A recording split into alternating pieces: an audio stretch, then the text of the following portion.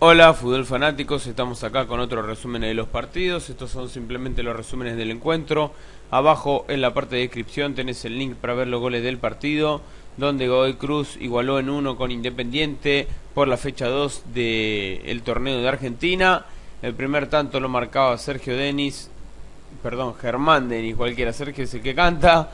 Germán Denis, el ex hombre del Atalanta, Napoli, Udinese, pasó por varios clubes en el en el fútbol italiano. Acá en una muy buena jugada donde pivotea, abre hacia la derecha para Toledo. El ex hombre de Banfield mete el centro atrás y define de muy buena manera. Los chicos que están en las inferiores de algunos clubes miren el manual de cómo definir llegando al área y es espectacular cómo define el tanque, abriendo el pie, acomodando muy bien el cuerpo para cruzarla y obviamente fue inatajable y ninguno de los jugadores que estaban cerca de, de la línea la pudieron sacar, ¿no?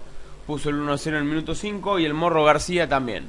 Le queda la pelota después de un error en la defensa independiente, en un lateral largo, eh, una pelota que queda ahí dividida y define, define también abriendo bien el pie, poniéndosela a un palo al Rusito Rodríguez que tuvo un buen partido.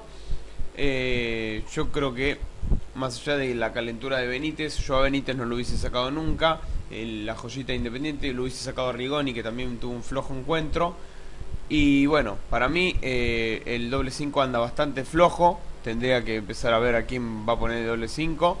Y bueno, el que jugó un buen partido, el que tuvo un buen primer tiempo, sobre todo fue Aquino y Germán Denis. Y después se puede destacar en Godoy Cruz a Almorro García y a Zuki que la rompe toda. Me encanta ya del campeonato pasado como viene jugando el capitán y emblema de el Tomba. El arquero Rey me parece bastante flojo, pero me parece que el empate estuvo bastante bien. Independiente no acertó mucho al arco. Vale destacar que se fue, eh, destacar que se fue expulsado eh, Fernández, la nueva incorporación, el ex Tomba por doble tarjeta amarilla, estuvo bien expulsado. Es un chico que está bastante nervioso. Esperemos que no tenga los mismos problemas que el hermano, ¿sí? Eh, y debe ponerlo más en conducta y Germán Deni que él estuvo retando un ratito antes que lo hagan echar y también toda la familia independiente, ¿no? Pero bueno, yo creo que el resultado fue justo. Así que bueno, dicho esto, suscríbanse al canal, pongan me gusta, comenten y compartan. Abrazo de gol. ¡Chau!